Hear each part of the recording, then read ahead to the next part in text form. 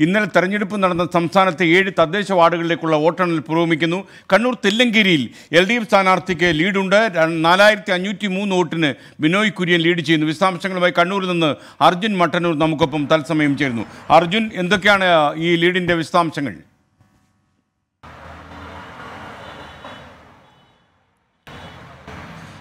S K N Kannur ജില്ലാ പഞ്ചായത്ത് തില്ലങ്കേരി ഡിവിഷനിൽ L D F വിജയം ഉറപ്പിച്ചിരിക്കുകയാണ്. നാലായിരത്തി അഞ്ഞൂറിലധികം ലീഡ് കടന്നിരിക്കുകയാണ്. അഡ്വക്കേറ്റ് ബിനോയ് കുര്യനാണ് അവിടെ എൽ ഡി എഫ് സ്ഥാനാർത്ഥി.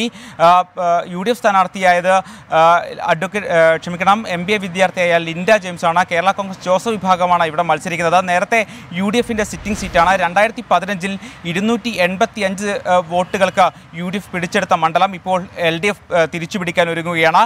നാലായിരത്തി അഞ്ഞൂറിലധികം ലീഡ് നില കടന്നിരിക്കുകയാണ്. കണ്ണൂർ ജില്ലാ പഞ്ചായത്തിൽ ഇരുപത്തിനാല് ഡിവിഷനുകളാണ് ഉള്ളത്. ഇതിൽ പതിനാറ് ഡിവിഷൻ ഡിവിഷനുകൾ എൽ ഡി എഫിനും ഏഴ് ഡിവിഷനുകൾ യു ഡി എഫും നേരത്തെ തന്നെ വിജയിച്ചു കഴിഞ്ഞതാണ്. അതുകൊണ്ട് തന്നെ തില്ലങ്കേരി ഡിവിഷനിലെ ഫലം ഇരു മുന്നണികൾക്കും നിർണായകമല്ല.